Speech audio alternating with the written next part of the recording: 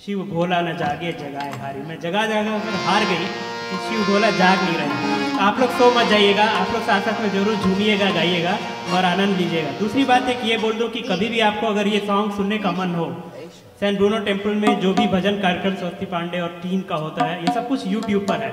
आप स्वस्ति पांडे करके सर्च करेंगे, मिल जाएगा। सारे करीब दो सौ सॉन्ग्स हैं। कभी भी मन हो, जब भी चाहे